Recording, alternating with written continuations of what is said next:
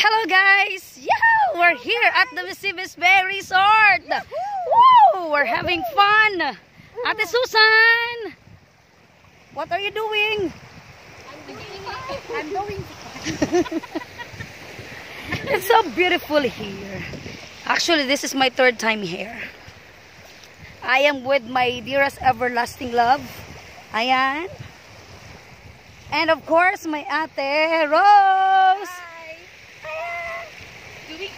Ate Susan. Ano? Saya-saya. After all, still, uh, although we are still under the NGCQ,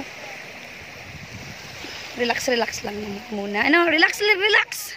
Forget all the problem and stress. But don't forget na may pamilya na nagmamahal.